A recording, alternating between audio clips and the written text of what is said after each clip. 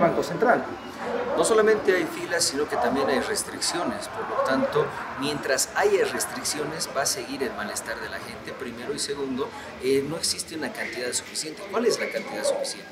Aquí lo importante es que haya políticas públicas suficientes que le permitan al gobierno recuperar la confianza perdida, que permitan canalizar dólares desde la exportación, que inclinen la balanza de pagos y que por supuesto le den certidumbre a la gente que ya la perdió.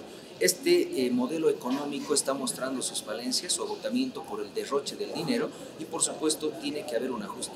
Mientras no lo haya, así inyecten grandes cantidades de dinero, la desconfianza y la incertidumbre va a seguir eh, creciendo y por supuesto el modelo económico eh, también va a seguir haciéndose aguas, porque hay que recordar también que muchos dólares están saliendo por las fronteras a países que tienen similares condiciones de crisis que la nuestra o peores y que por supuesto nuestros dólares son más baratos y por supuesto eh, los, los, sacan del país. La realidad es que la, la, eh, la triste realidad en realidad del, del, modelo económico es que se está haciendo agua por el derroche, por los préstamos, por eh, estas empresas públicas que están terminándose los recursos y por supuesto por los eh, por las altas altos impuestos, tasas, etcétera, a los eh, exportadores. Nuestra balanza de pagos está completamente inclinada hacia las importaciones, se nos van las divisas en el subsidio de hidrocarburos, por lo tanto hay que el modelo económico.